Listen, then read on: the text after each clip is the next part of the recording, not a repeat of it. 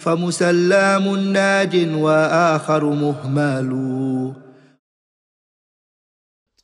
Ittehadu ahbarahum ruhbanu arbabe min dunillah.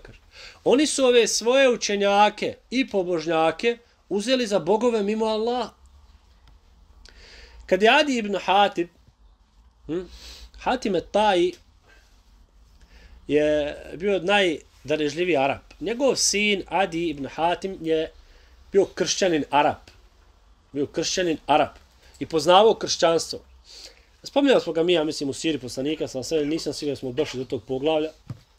Ali uglavnom, kad je pobjegao, kad je Ali ibn Ebi Talib došao da zauzme taj, njegovu naselje, odnosno njegovu pokrajinu tu sjevero, sjeveroistočno uh, od Medine, Adi ibn Hatim se dao bijeg, a pobjegu, da ga ne zarobe. A njegova sestra je pala uh, uh, uh, jel, kao zarobljenca i dovedena je u Medinu, a onda je tražila od poslanika sa sve da je pustio, da se otkupi, i ubijedila svog brata da dođe pred poslanika sa selem i da porazgovara sa njim. Hm? Pa je tako i bilo. A nakon što je porazgovarao s poslanikom sa selem i nakon što je čuo Kur'an, Adi je postao muslima. A? I to je jedan od časnije ashaba Allah poslanika sallallahu alaihi sallam. Mi što znamo za njeg, iskren vjernik mu. Ali kad je čuo ovaj ajet, da je poslanik sa selem proučio ovaj ajet, baš, oni su svoje pobožnjake i svećenike uzeli za, za bogove, Adi je kazao, lao poslanić, nismo ih mi obožavali. A?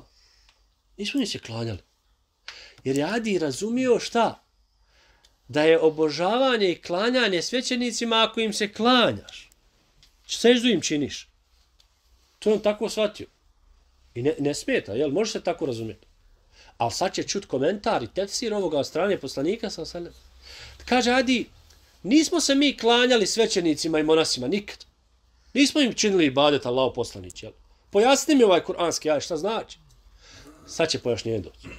Kaže poslanik sa osam, o Adi, zar vam oni nisu ohalaljivali haram? Pa ste vi to radili. I zar vam nisu oharamljivali halal? Pa ste to radili. Kaže, jesu Allaho poslanici, fe tilke ibadetuhu. To je, njihovo, to je robovanje njima. To je obožavanje njih. Da su se oni stavili na mjesto zakonodavca i dali sebi za pravo da ozakonjuju propise. I da kažu za nešto što je halal, to je haram. A ti kaže, ne smijemo to raditi, to je haram. I s druge strane, da nešto što je jasan haram, On kažu, može se ovo raditi, to je halal. I ti prihvatiš. A? Ali onaj ko ovako radi, taj sebe stavlja na poziciju božanstva. A onaj ko mu se pokorava, čini širk.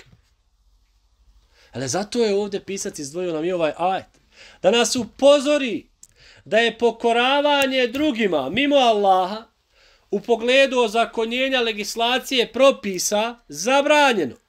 I da ljudi nemaju pravo na to nemaju pravo da ozakonjenju propise, niti imaju pravo da za ono što je jasan halal kažu da je haram, niti za ono što je haram da to učine halalo. To ostaje samo u domenu gospodara svijetu, odnosno da je to isključivo njegovo pravo i naravno pravo Allaho poslanika sa osallam koji je to činio po dozvoli gospodara svijetu. Sve ostalo, crvena linija, ne prelazi se, ne uzima se. I puno je bolje za insana da radi haram i da ga smatra haramom, nego da smatra da je haram halal, makar ga i ne radio. Ponavljam. Znači, bolje je za čovjeka da ima neki haram koji on radi iz slabosti. Ha, radim, haram je, spala, leto, ja to radim. Šta ću? Ova je grešnik. Međutim, drugi, koji haram kaže ovo je halal, on ne radi to. Ova je gori od onog prvog.